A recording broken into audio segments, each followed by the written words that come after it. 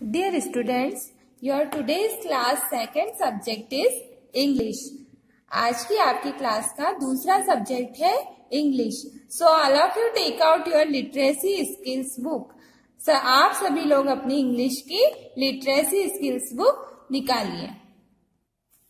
Dear students आज हम बनाना सीखेंगे letter J J for jug ये है लेटर जे आप देखेंगे आपको कुछ पिक्चर्स और दिखाई दे रही हैं। ये जूस का पैकेट है और ये जैकेट है। ये दोनों पिक्चर्स भी जे लेटर से शुरू हो रही हैं, इसलिए हम कह सकते हैं J for juice and J for jacket भी होता है। ये है हमारा लेटर जे नेक्स्ट पेज पर हम देखेंगे colour the big and small letter J. आपको क्या करना है? जो बिग लेटर जे है, उसमें कलर करना है। कलर इंडिकेशन हमें दिया हुआ है। हमें पिंक कलर का कलर का क्रियान लेना है और लेटर जे में कलर करना है। सबसे पहले जो ये स्लीपिंग लाइन वाले जो पोजीशन है, पिक्चर्स बना हुआ है, इसमें कलर करेंगे। ऐसे। उसके बाद ये जो स्टैंडिंग लाइन वाली पोजीशन और यहाँ से हल्की सी मूव हुई है, इसमें हम कलर करेंगे।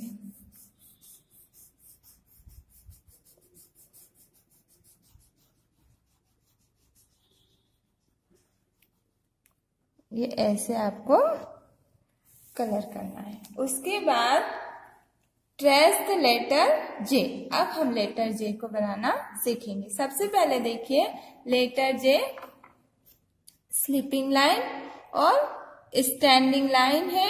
लेकिन ये स्टैंडिंग लाइन नीचे की तरफ़ आते हुए हल्की सी ऐसे मूव हुई है। ये है लेटर जे सबसे पहले हम स्टैंडिंग लाइन जो डॉटेड लाइन बनी है उसको ट्रेस करेंगे पेंसिल से और फिर ऐसे नीचे की तरफ़ लाके ऐसे हल्का सा ऊपर की तरफ़ घुमा देंगे।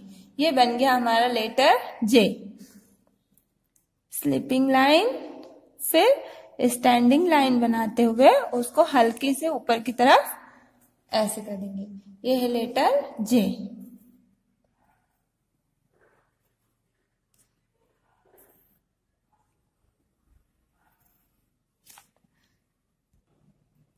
डियर स्टूडेंट्स ये देखिए, आपको आज सिर्फ़ वर्कबुक में प्रैक्टिस करनी है लेटर जे बनाने की।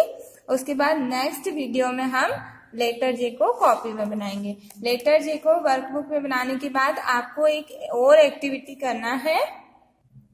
नेक्स्ट पेज पर join the letter J with the jug अब आपको देखना है, यहाँ पर कुछ जूस के भरे हुए ग्लास है। आपको देखना है कि उन उसी ग्लास को जग वाले पिक्चर से मैच करना है, जिसमें लेटर जे लिखा है। ये है लेटर आई तो हम इससे मैच नहीं करेंगे। ये जे जे फॉर जग है तो हम इस डॉट से इस डॉट को पेंसिल से मैच कर देंगे। फिर लेटर जी को मैच नहीं करना है। फिर ये लेटर जे है तो आपको इसे लेटर जे के जग के पिक्चर से मैच कर देना है। ये वर्कशीट में आपको प्रोवाइड करूँगी, उसमें आपका वर्क करना है।